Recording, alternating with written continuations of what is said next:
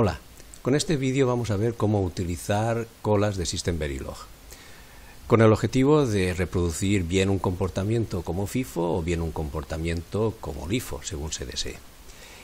El esquema que vamos a llevar va a ser muy sencillo. En primer lugar, cómo declarar colas, bien sean de un tamaño limitado o no, y procederemos inmediatamente a ver operaciones de escritura y operaciones de lectura.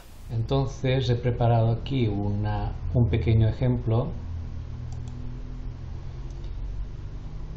en el que he definido una cola. Acordaros que es mediante la definición entre corchetes del dólar. Esta cola está formada por elementos de 4 bits de tipo logic y he definido igualmente otra cola también con elementos de 4 bits, pero en este caso el tamaño lo he restringido a, de 0 a 3. La forma de especificar el tamaño, acordaros que es mediante esta sintaxis. Entonces he hecho un initial muy sencillo en el que voy haciendo para ambas colas una serie de operaciones.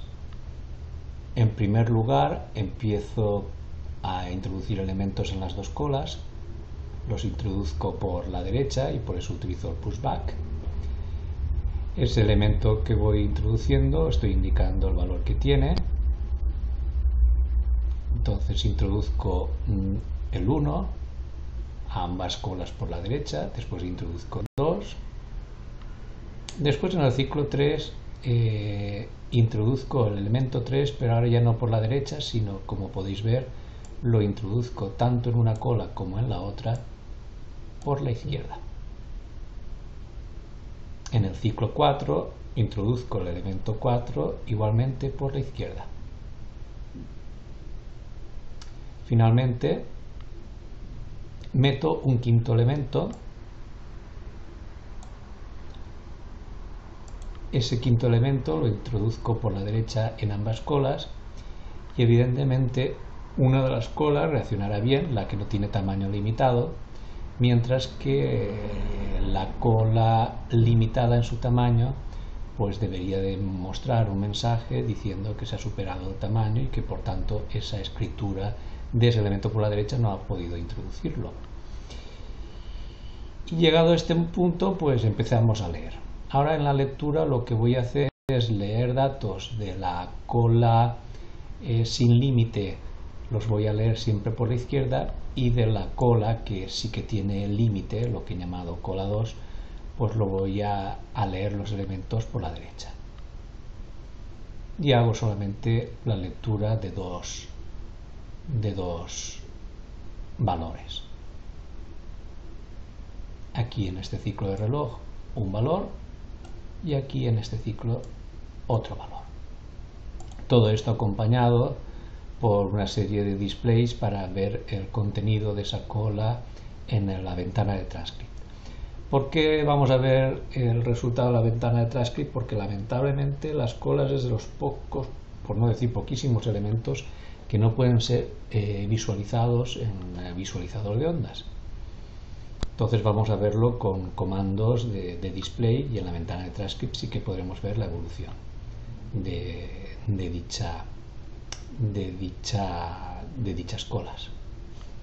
Bueno, una vez que tenemos el fichero,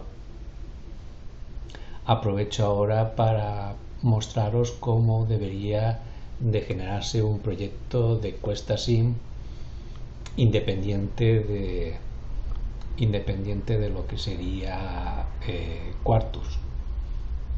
Supongamos que yo tengo este fichero entonces nos iríamos a la ventana de Cuesta Sim y nos iríamos a crear un nuevo proyecto. Fijaros, vuelvo a repetir que yo puedo arrancar Cuesta Sim independientemente de cuartos y así lo hacemos. Entonces hay un wizard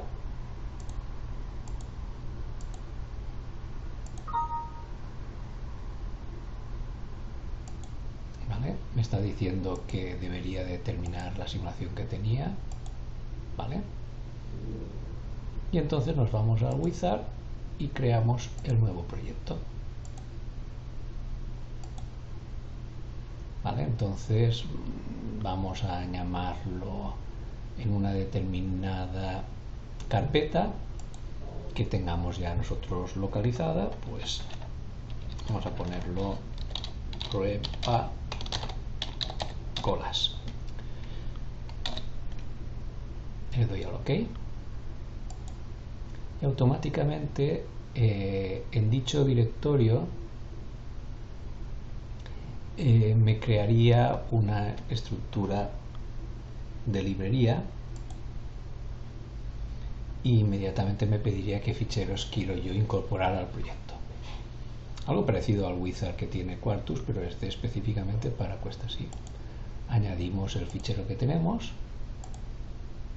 que hemos preparado y que antes os he mostrado, ¿vale? Y ya podemos cerrar.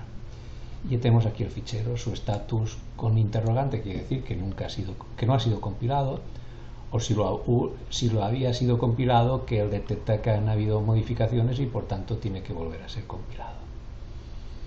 Entonces ahora todos los ficheros del proyecto, si los queremos compilar, pues basta con que eh, llamemos a la herramienta de compilación.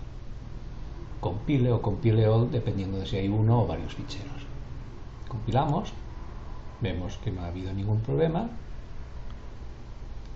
ya me aparece en su estatus que ya detecta que ha sido compilado y que no ha sido modificado.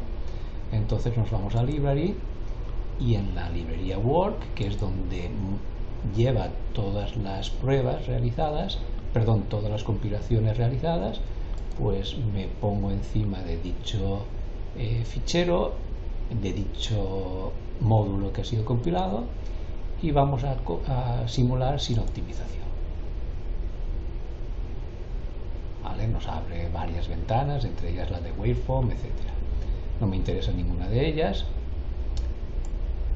Como es un banco, como es un fichero auto autocontenido, en el sentido de que tiene eh, los estímulos y todo lo necesario para su ejecución, fijémonos que realmente lo único que necesitamos es un reloj y me he preocupado aquí con este inicial de generar un reloj un reloj que tiene un periodo de 100 unidades de tiempo. Dijimos que cada 50 cambia y como al principio he indicado que la escala de tiempo es de nanosegundos, pues estamos ante un reloj de 10 MHz. Pues ahora yo lo ejecuto. Vamos a poner, por ejemplo, 800 nanosegundos y vemos en la ventana de transcript todo lo que ha ocurrido en esos 800 nanosegundos. Os recuerdo que la cola 1 es la cola que no está limitado su tamaño y la cola 2 sí que está limitado. Empezamos a introducir elementos por la derecha y efectivamente se van introduciendo por la derecha. Ahora empezamos a escribir elementos por la izquierda y vemos como ahora el nuevo elemento, el 3, se introduce por la izquierda y el 4 por la izquierda. Y así podéis ver el efecto del pushback y aquí el efecto del eh, push front.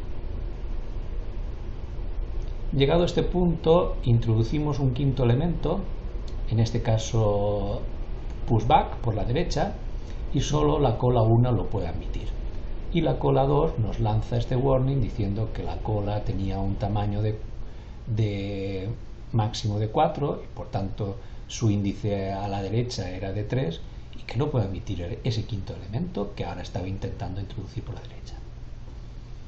Para que veáis el efecto de tener una cola con tamaño eh, máximo. Y ahora empezamos a leer. La cola 1 la vamos a leer siempre por la izquierda y por tanto veremos cómo vamos recogiendo los elementos desde la izquierda y la cola 2 las iremos recogiendo por la derecha. ¿Vale? Entonces, después de cada lectura, aquí hemos leído el 4 en la cola 1 y hemos leído el 2 de la cola 2. Elementos que al ser leídos, pues desaparecen de la cola.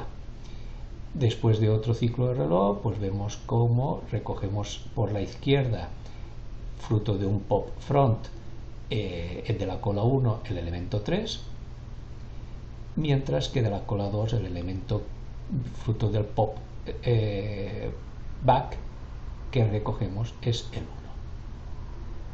Bueno, yo creo que con este ejemplo ya podéis haceros una idea de cómo podríais implementar una FIFO mediante este modelo de alto nivel que son, que son las, las colas.